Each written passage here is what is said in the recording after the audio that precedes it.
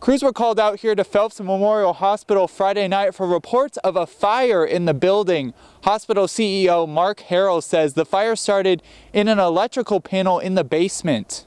Uh, fortunately, our fire suppression system worked exactly like it was supposed to. Uh, they notified the local volunteer uh, fire department, which we greatly appreciate everything they did for us. Uh, it was contained to that electrical panel, and uh, so uh, everything worked as it should have.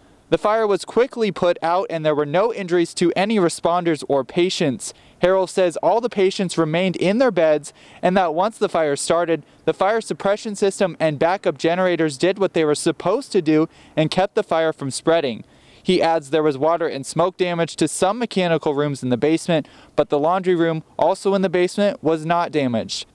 Now they're still trying to determine a cause for the fire, but again, no injuries and all services are back open at the hospital this morning. In Holdrege, Tanner Kahler, NTV News.